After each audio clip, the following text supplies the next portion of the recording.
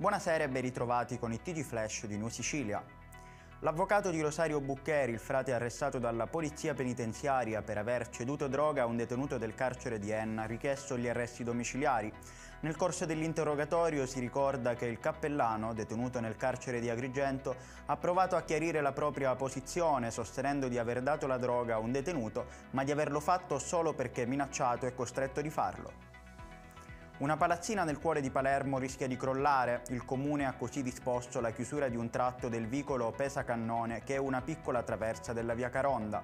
Gli uffici dell'area della pianificazione urbanistica hanno constatato il pericolo e lo stato di usura della palazzina in seguito a un sopralluogo da parte dell'ufficio città storica del comune. A Stromboli, dove l'attuale attività vulcanica ha consentito il ritorno del livello di allerta da arancione a giallo, persiste una situazione di potenziale disequilibrio del vulcano. Il passaggio alla fase di allerta gialla non comporta alcuna modifica nelle restrizioni previste nell'ordinanza del sindaco di Lipari, Riccardo Gullo, circa le escursioni sul vulcano. Persiste il buon tempo in Sicilia, martedì 1 novembre il sole continuerà a riscaldare le coste siciliane. Non si attendono precipitazioni e le temperature continueranno a mantenersi alte rispetto alla media stagionale. La temperatura più elevata verrà fatta registrare a Catania con massime di 26 gradi. A Caltanissetta invece risulterà essere la provincia con i valori termici più bassi, con minime di 12 gradi.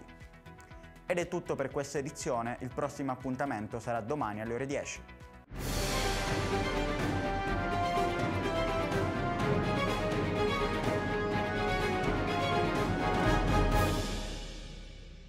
Procar, centro assistenza autorizzato BMW e Mini, adesso anche BMW Motorrad, via George Marshall 7, Mister Bianco, Catania.